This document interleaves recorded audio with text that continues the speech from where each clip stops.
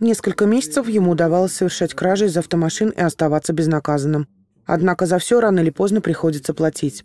29 декабря оперативники уголовного розыска задержали 24-летнего серийного вора. Первые сообщения о преступлениях стали поступать в полицию из районов Мордовии в конце ноября текущего года.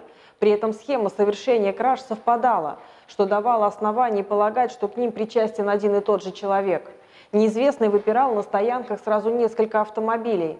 Разбивая стекло или проворачивая личинку в замке, он проникал в салон транспортного средства – откуда похищал автомагнитолы или колонки. Затем злоумышленник снимал аккумулятор и сливал бензин. Полицейские установили причастность задержанного к 17 преступлениям. Кражи совершались в Чанзинском, Ордатовском, Краснослободском, Ковылкинском и Лямберском районах.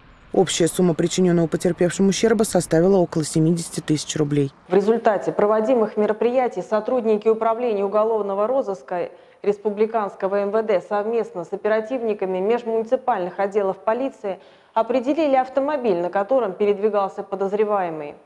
После этого была установлена его личность. Как оказалось, молодой человек в дневное время подрабатывал в качестве водителя такси, а вечернее целенаправленно выезжал в один из районов Мордовии, совершал кражи, после чего возвращался в Саранск. Как установили полицейские, похищенные вещи мужчина продавал или сдавал в пункт приема металла а бензин использовал в личных целях. Вора задержали в Саранске. При досмотре его автомашины была обнаружена емкость с более чем 100 литрами топлива. В отделе полиции таксист во всем сознался и подробно рассказал каждый эпизод. Здесь газы. Где она стояла? С торца?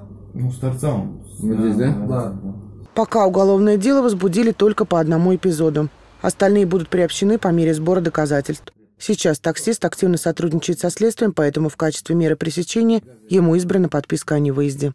Екатерина Чермянина, программа «Происшествия».